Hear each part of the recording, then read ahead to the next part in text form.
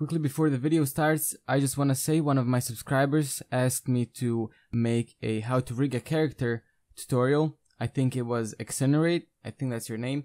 Sorry if I pronounced it wrong, but that video is being made. Next video is gonna be how to rig a character, so yeah, enjoy. Hi guys and girls, and welcome back to another video.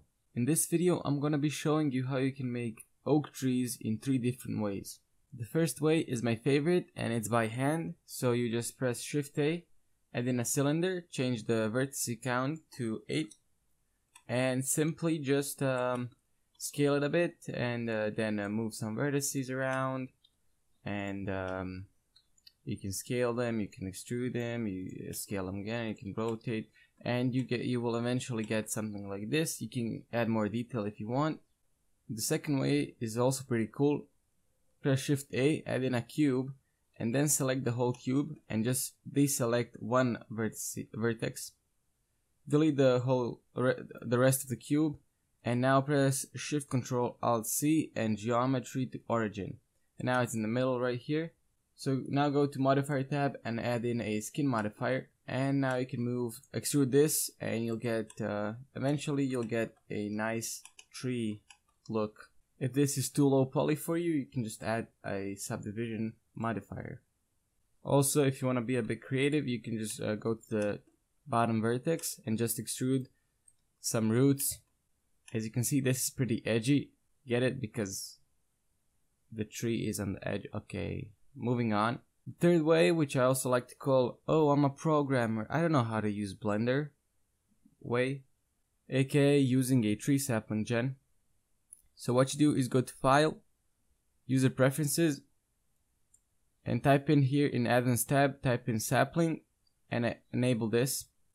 Now you can just go Shift A, Curve, and Sapling Tree Gen. Just click Bevel here, and you got your tree. Those are the three ways. The last step is, of course, adding the leaves. This is the same on all three steps. Just press Shift A, Mesh, Icosphere. Now you can just move it up and scale it. Then you can press O to use some proportional editing to add more randomness. If you feel frisky enough, you can um, press Shift D and then uh, use this again. Oh my god, this is the, absolutely the worst tree I ever made. Okay, if you got something like this, it means you're doing it wrong because this, I'm pretty sure this is not how trees look. Of course, since uh, the first way is my favorite, I'm gonna use the first way of doing it to make a tree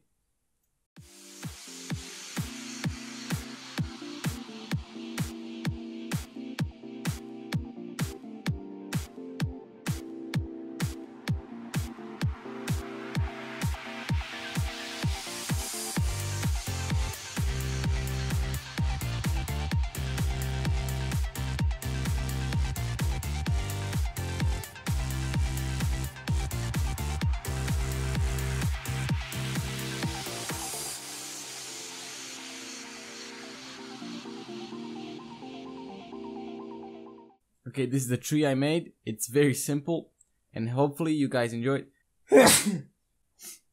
okay, so hopefully you enjoyed and if you did, be sure to leave a like on the video because it helps me out. Subscribe, that helps me even more and uh, comment down below if you want to see any specific videos on what you need or if you need some advice or something. I don't know.